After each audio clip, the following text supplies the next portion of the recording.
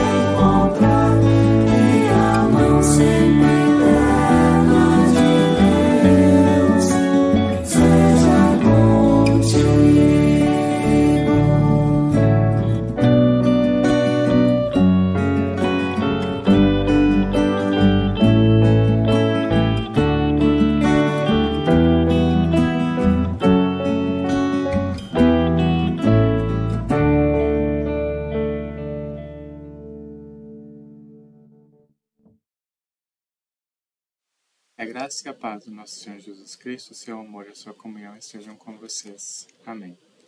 A palavra bíblica desse dia nos lembra, Esdras 3, versículo 11, Todo o povo jubilou com altas vozes, louvando o Senhor por terem sido lançados os alicerces da casa do Senhor.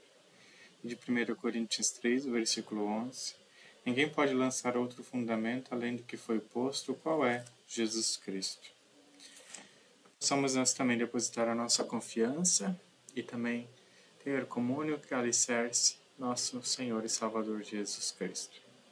Amém. Momento de oração e de reflexão, ele é especialmente gravado, pois eu me encontro em um outro trabalho da nossa paróquia e da missão de Jesus Cristo neste mundo. Assim deixo vocês também com a reflexão sobre o que te torna grato. O mundo é grato por opinião, mas será que é de fato? Agradecer uma atitude automática, que flui naturalmente. Ao sair do táxi, ao recebermos o cafezinho, quando alguém nos dá licença, temos oportunidade de agradecer. E pessoas dotadas de, de, de espírito de gratidão não deixam passar essas ocasiões, enquanto outras pessoas se mostram desatentas ou apressadas demais para esses detalhes. Agradecemos por educação, porque fomos treinados e ensinados para isso desde cedo, ou quando nos sentimos realmente inspirados para tanto. Há ocasiões em que simplesmente nos alegramos por algo bem feito a nós, ou em um nível mais profundo, quando sentimos o dever de retribuição por esse bem feito a nós. E isso é ótimo mas por vezes ficamos bloqueados e a gratidão só vem a forceps. Principalmente quando as dificuldades parecem falar alto demais e mais alto do que as coisas boas que nos aconteceram. Então, tendemos a cair na lamentação e murmuração Ficamos de mau humor e caímos na autocomiseração, e de tão cansados e calejados que ficaram os nossos joelhos, achamos que Deus parou de ouvir a nossa oração.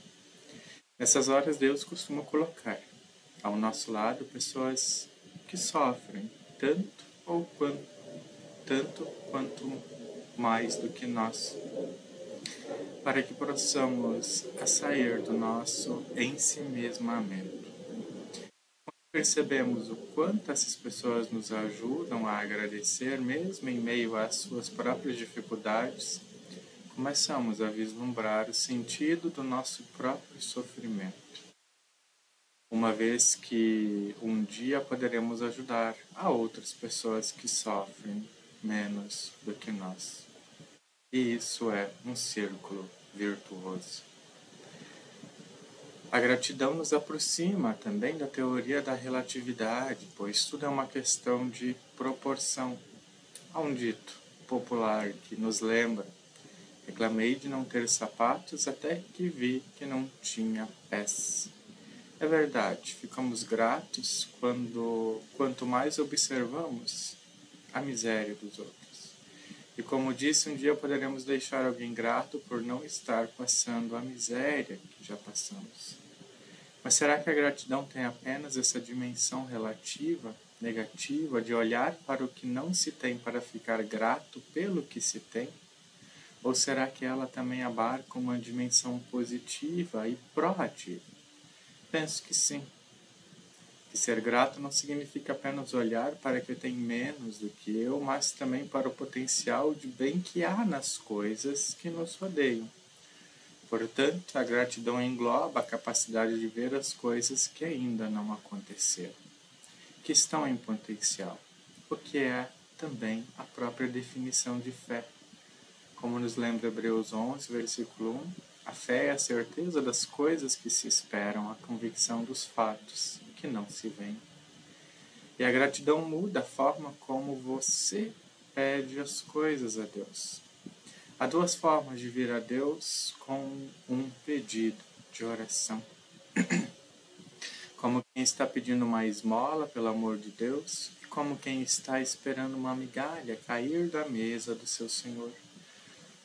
Porque sabe que a mesa do Senhor, nosso Deus, é farta. Aqui podemos ver uma diferença sutil, mas libertadora. Quem pede esmola fica desesperado com os centavos e quer mais. Quem espera as migalhas espera contente porque sabe que a migalha faz parte de uma fartura que não tem tamanho e agradecerá por ela, mesmo antes de pô-la na boca. Assim é a oração daquele e daquela pessoa que tem fé. Não como de uma criança mimada que quer porque quer um novo brinquedo mas como da criança que confia nos seus pais, que eles terão o melhor para ela, mesmo que não seja aquele brinquedo exato que ela desejava e que ao pedir já está agradecendo a bênção que receberá, seja ela qual for. Então a gratidão é ao mesmo tempo algo espontâneo e algo adquirido. Espontâneo pela educação e pelo espírito de gratidão, e adquirido pelo mesmo espírito de gratidão e pela disposição de agradecer, mesmo quando não se está vendo o fruto da oração. Autor importante que muitas pessoas conhecem, C.S. Lewis, defendia a ideia do bom contágio, de que mesmo quando não estamos a fim de fazer alguma coisa pelas nossas emoções subjetivas, fizermos por uma decisão deliberada da nossa vontade, que pode parecer forçada no início, essa coisa se torna parte de nós e se afeiçoa à nossa face. Nesse contexto, Lewis menciona aquele mito do rei que era tão feio que usava uma máscara para conversar com seus súditos, que não suportavam olhar para ele. Com o tempo, o rei decidiu que era a hora dele assumir o seu verdadeiro rosto, pois já havia conquistado a simpatia do povo. E qual não foi a sua surpresa quando ele tirou a máscara, percebeu que seu rosto havia se amoldado a ela. Aqui, portanto, aprendemos que ser grato e grata é uma questão de fato e não de opinião. Mesmo quando não se está afim e aparentemente não temos motivos para agradecer, no fim seremos mais belos e mais felizes do que os ingratos podem sonhar em ser. Essa palavra nos anima, nos aproxima e possamos agradecer a Deus pela nossa vida. Amém. Como comentei antes, o momento de oração e reflexão hoje ele é gravado, então as orações de vocês vocês podem fazê-las, entregá-las nas mãos de Deus e também podem as trazer domingo, no, às 10 horas da manhã, que será celebrado na comunidade Castelo Forte.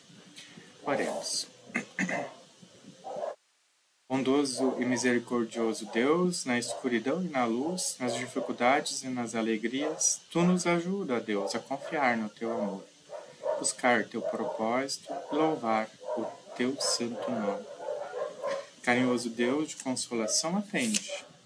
Bondosamente nós te suplicamos a todas as pessoas feridas pela dor e sofrimento, para que, confiando a Ti os seus pesares, compreendam e recebam o conforto do Teu amor. Senhor, tem piedade de quem chora por tantas horas e se sente inerte e sem esperança.